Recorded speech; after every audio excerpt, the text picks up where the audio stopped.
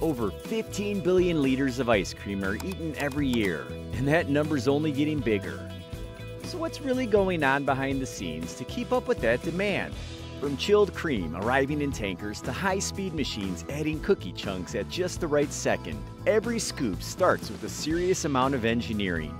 But here's what's even more fascinating. How does air get whipped into ice cream without ruining the texture? And how do factories freeze it fast enough to keep it smooth? You're about to find out here at the Process World.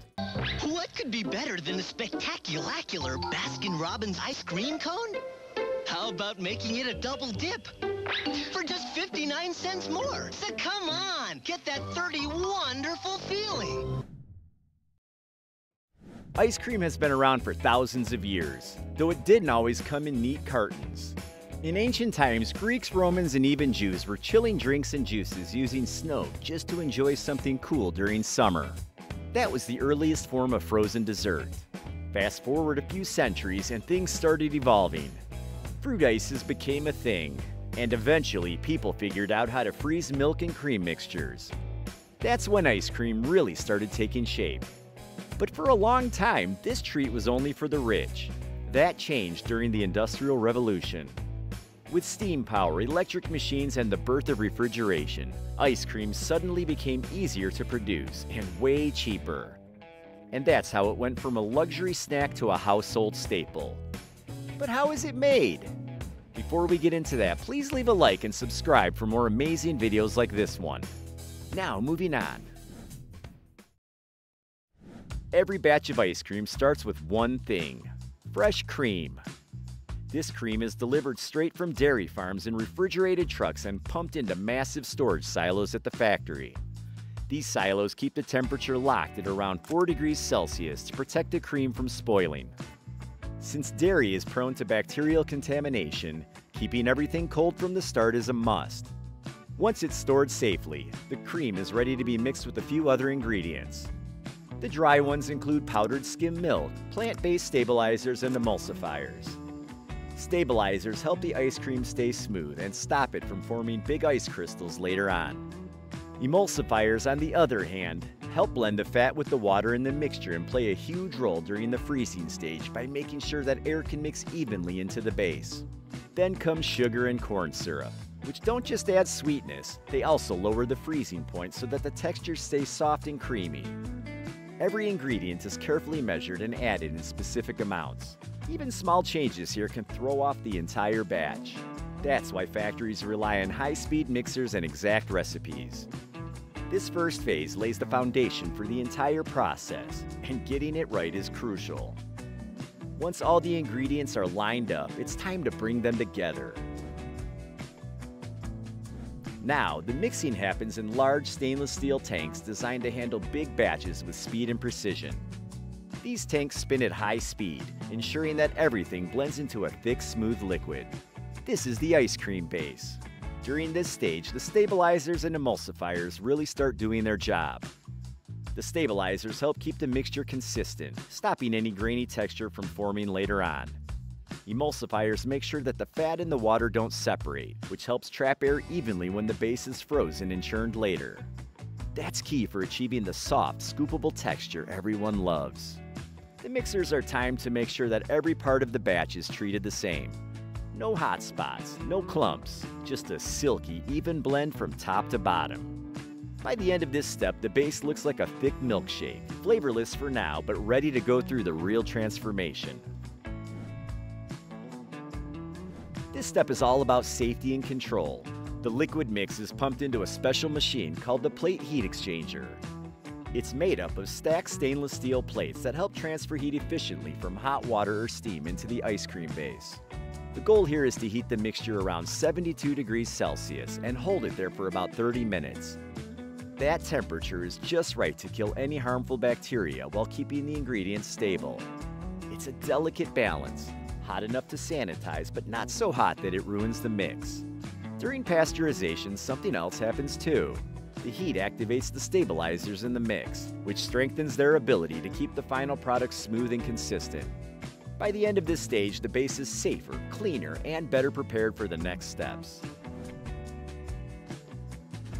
This is where the texture of the final ice cream really starts to take shape. The goal here is to break down the fat particles into tiny, uniform sizes so they can blend smoothly with the rest of the mixture. The mix is pushed through a high-pressure valve system at extremely fast speeds. This process shatters the fat globules and spreads them evenly throughout the entire liquid. It also ensures that the entire base stays consistent from top to bottom. It also gives ice cream that creamy, melt-in-your-mouth feel that people expect. And while most modern factories rely on high-speed mixers or homogenizers, some parts of the world still celebrate traditional techniques. In the Middle East, like Syria and Lebanon, there's a famous type of ice cream called bouza. It's made using salabin mastic, which gives it an incredibly stretchy, chewy texture that sets it apart from the typical Western ice cream, though the process is slower and more hands-on. Anyway, once the mixture has been pasteurized and homogenized, you'd think it's ready to be frozen, but not yet. It first goes through something called the aging phase. This step might not seem exciting at first, but it plays a huge role in the final taste and texture of the ice cream.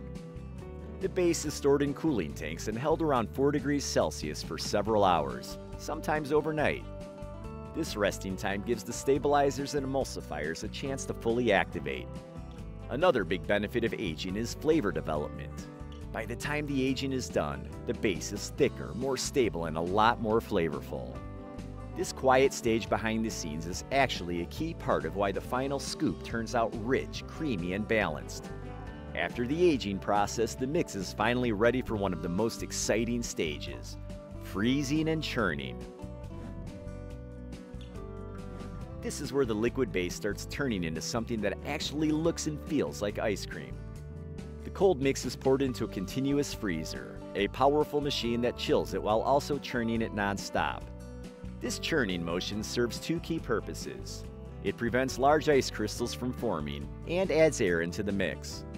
That air is what gives ice cream its soft, scoopable texture. Without it, the product would come out hard and dense. This step is where something called overrun happens. Overrun is the amount of air whipped into the ice cream. Depending on the recipe, the volume can increase anywhere from 60 to 100%. The more air that's added, the lighter the texture becomes. Less air makes it thicker and richer. Every brand has its own overrun level, which is why premium ice creams often feel heavier and more indulgent. Now that the ice cream has its texture locked in, it's time to add all the fun stuff. Those mix-ins that take a good scoop and turn it into something unforgettable. This step happens right before the freezing finishes, while the ice cream is still soft enough to blend without breaking anything apart. Factories use specially designed feeders to drop in extras like chocolate chips, chopped nuts, cookie dough, caramel ribbons, or fruit chunks. These machines are timed precisely to make sure that the mix-ins spread evenly throughout the entire batch. No one wants a scoop loaded with chocolate followed by one with nothing at all. Once the mix-ins are folded in, the ice cream starts to look and feel like the final product you see on store shelves. The texture is creamy, the flavors are layered, and the bonus ingredients are packed evenly into every bite. Then we get into the packaging phase.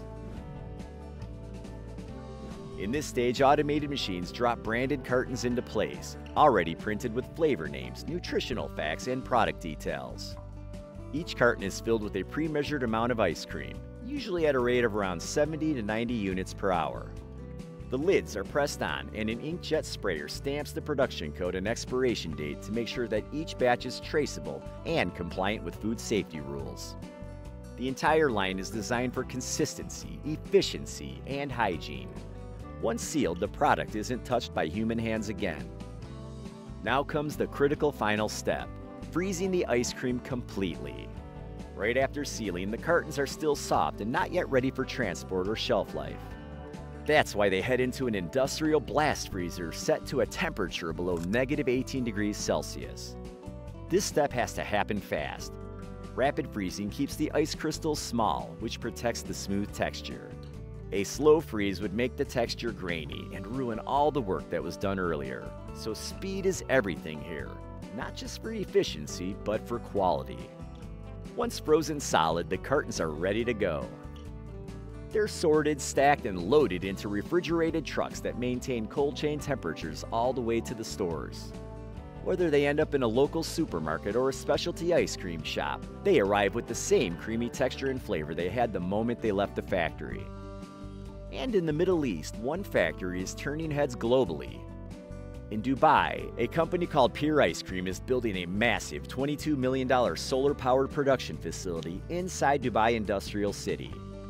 Once operational, it will produce up to 50 million liters of ice cream annually, which it plans to export across more than 20 countries. Quite interesting, right? Anyway, here's a question for you. If you could invent your own wild ice cream flavor and see it made in the factory, what would it be? And would anyone actually dare to try it? Let us know in the comments section below.